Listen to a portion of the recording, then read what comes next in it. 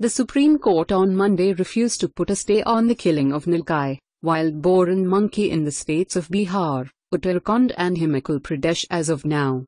The apex court asked the petitioners to give a representation to the respective state courts and the center about their objections. Supreme Court Recorder Ranjit Kumar said that the killings are done outside the forest area where the animals come out to disturb human life.